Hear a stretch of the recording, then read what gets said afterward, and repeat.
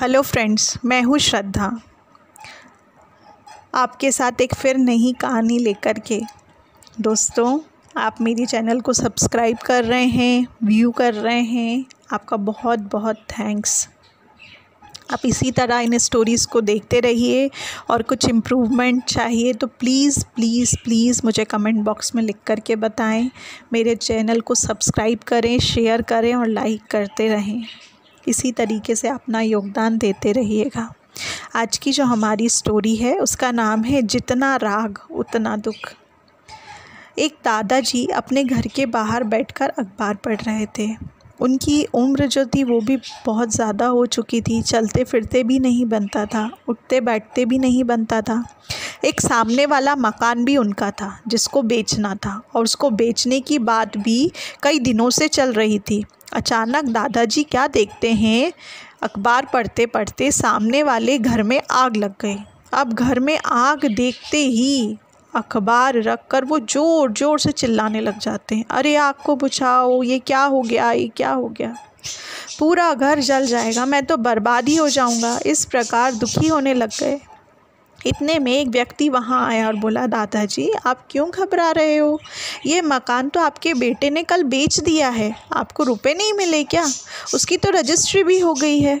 इतना सुनकर वो फिर से निश्चिंत हो गए और पूरी तरीके से शांत भाव से अब बैठकर अखबार पढ़ने लग गए। अभी सामने वाला मकान पूरी तरीके से जला नहीं था, आग जल ही रही थी, बुझी नहीं थी।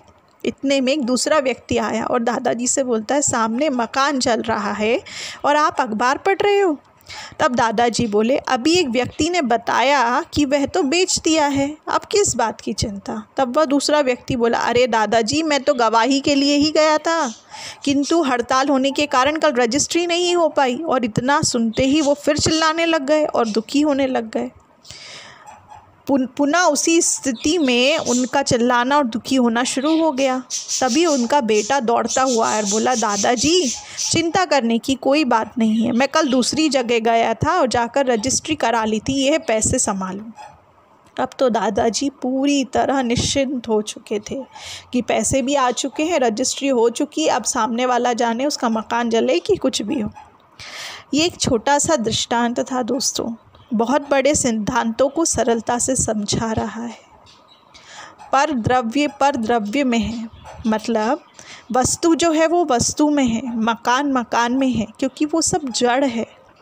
वह मेरा कैसे हो सकता है? क्योंकि मैं तो कौन हूँ? एक चैतन्य आत्मा हूँ। वास, वास्तव में वस्तु को, मकान को हम अपना मानने लगे हैं, इसलिए हमें दुख होता है।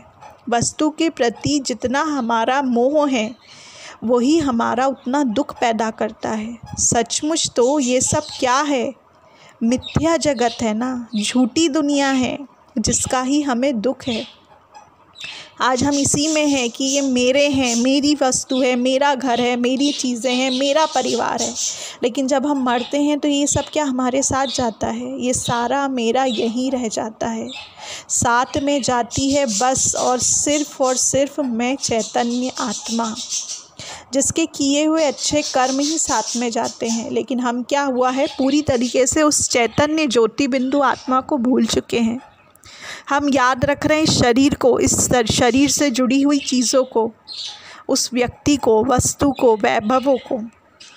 दादाजी ने जब उस मकान में मोह था तो उनका नुकसान हो रहा था। सोचिए आप, कि सिचुएशन वही सेम टू सेम थी। जब उनने ये सुना कि मेरा मकान जल रहा है तो वो बहुत दुखी हो रहे थे। लेकिन वही मकान जब बिक गया था तो उसी परिस्थिति में उनको फिर दुख नहीं हो रहा था। वही मकान, वही जलने की स्थिति, लिंक, किंतु मनाने का दुख हो रहा है या नहीं हो रहा है, दोनों स्थितियों में अलग अलग है। जब मेरा है तो दुख हो रहा है। जब तेरा है, किसी और का हो गया तो दुख नहीं हो रहा है। इस, इसी प्रकार हमें सदा सुखी होना है तो सबसे पहले हमें वस्तुओं में जो मन लगा रखा है, उसको छोड़ दें। खुद की अंतरात्मा को पहचाने, बाहरी वस्तुओं में कुछ भी नहीं रखा है, क्योंकि वे ना तो सुख दुख रूप हैं, ना ही सुख दुख के कारण हैं। जो भी कारण हमने बनाए हैं, वो हमारे ही अंतरात्मा के कारण हमने बनाए हैं। क्योंकि हमने उसको अटैच कर रखा है कि ये मेरी चीज़ है, मेरी वस्तु है। आप सोचिए, अगर मैं आपसे कभी पूछूँ कि आप कौन हैं तो आप क्या बताएँगे कि मेरा नाम ये है? आप कभी बोलेंगे कि मैं ये शरीर हूँ? आप नहीं बोलेंगे। ये मैं और मेरा, ये दो अलग अलग शब्द हैं। मेरा परिवार आप बोलते हैं, मैं परिवार हूँ नहीं बोलते हैं। मेरा घर है बोलते हैं, मैं घर हूँ नहीं बोलते हैं। आप, मैं मैं श्रद्धा हूँ, मैं ये बोलूँगी। मैं कविता हूँ, मैं ये बोलूँगी। जो नाम है वो मैं, उस, वो जो आत्मा है वो बोलती है। और मेरा जब हम शरीर से जुड़ जाते हैं, तब उसके लिए बोलते हैं। तो आप इसको गहराई से सोचें और जितना हमने मेरे मेरे का जंजाल फैला रखा है, उन सब जंजालों से दूर होकर अपनी अंतरात्मा को पहचानें, अच्छे कर्म करें, ताकि आप, वो जो राग है, वो जो दुख है, जो हमको वस्तुओं को, चीज़ों को दूर होने से होता है, वो हमें ना हो।